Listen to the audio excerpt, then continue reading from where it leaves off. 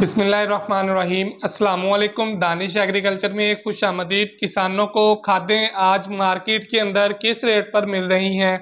आप दोस्तों के साथ शेयर करते हैं तो जो दोस्त चैनल पर नए हैं, उनसे गुजारिश है कि चैनल को सब्सक्राइब कर लें और साथ दिए गए बेल आइकन पर लाजम क्लिक कर लें, ताकि हर आने वाली नई वीडियो का नोटिफिकेशन आप तक पहुँचता रहे। तो खादों के रेट के अंदर, डॉलर की कीमत के अंदर जिस तरह कमी हो रही है, उस हिसाब से खादों की कीमतों के अंदर कमी नहीं हो रही। सौ से दो सौ रुपये कमी कर दी, ये कोई इतनी ज़्यादा कमी नहीं है। कम से कम अगर डॉलर की कीमत के अंदर पचास से साठ रुपये कमी हुई है तो खाद की कीमत के अंदर तीन से चार हज़ार रुपये कमी होनी चाहिए थी। इस वक्त जो खादें डीएपी की बात की जाए तो डीएपी जो खाद है, किसानों को ग्यारह हज़ार नौ सौ से लेकर बारह हज़ार रुपये तक मिल रही है। इसी तरह नाइट्रोफास खाद की बात की जाए तो नाइट्रोफास जो खाद है, वो तकरीबन छः हज़ार आठ सौ से छः हज़ार नौ सौ तक यूरिया खाद की बात की जाए तो यूरिया खाद तीन हज़ार आठ सौ से तीन हज़ार नौ सौ रुपए तक फरोख्त हो रही है। यूरिया खाद ज़्यादातर किसानों का शिकवा है कि हमें मिल नहीं रही।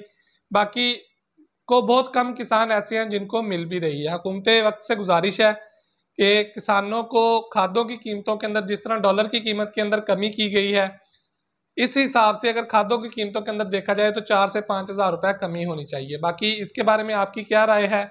आपके इलाके के अंदर क्या रेट है? हमें कमेंट्स बॉक्स में ज़रूर बताइएगा। वीडियो अच्छी लगी तो दोस्तों के साथ शेयर कीजिएगा। अल्लाह हाफि